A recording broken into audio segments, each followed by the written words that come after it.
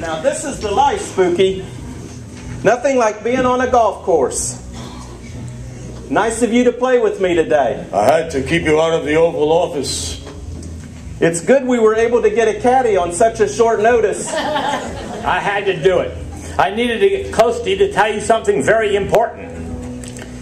Oh no, it's that Murphy dude again. I told you to leave us alone. But it's important. I'll tell you what. I will challenge you to a tee off. What's a tee off?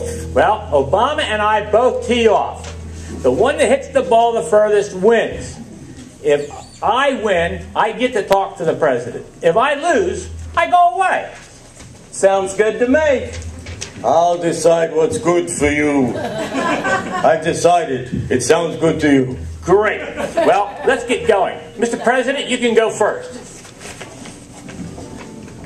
This will be an easy victory. Oh no, it's going in left. It's going left into the water. Wait, it's bouncing out. Ha ha! Must have hit some of those houses underwater out there. And it bounced backwards. Now it's my turn. Look out. Holy cow, what a shot! It's going right. Oh no.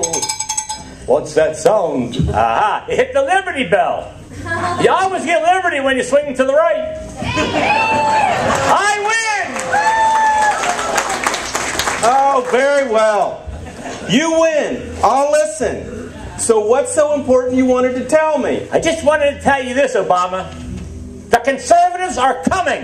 The conservatives are coming. The conservatives are coming. And we're here to stay. I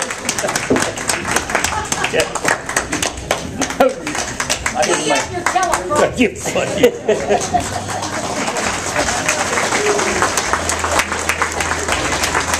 Good job. I got time to change?